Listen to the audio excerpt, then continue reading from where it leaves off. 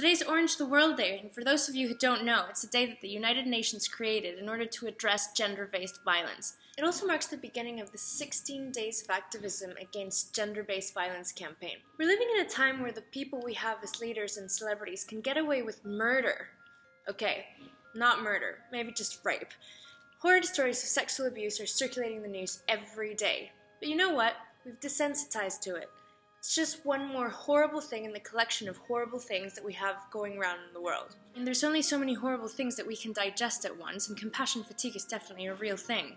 But you know what? We're starting to see a change in the times. Women have fought their way for rights quite literally throughout history.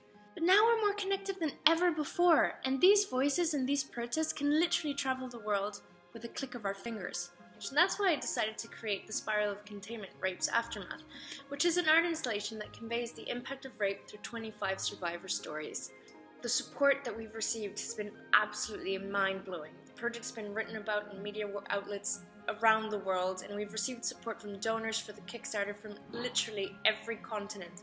We've even had an Italian rugby team decide to sell t shirts today uh, to raise funds for the project. You guys have helped spread the word about it, and I never would have been able to get this far without you, so thank you so much. I also want to thank Alice Pascoletti so much for coming on board for this project as a producer and believing in it. Her help has been absolutely indispensable to make this all come to life.